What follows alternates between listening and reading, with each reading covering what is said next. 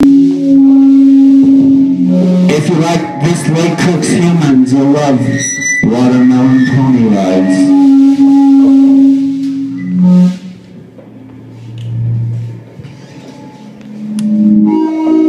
You guys ready?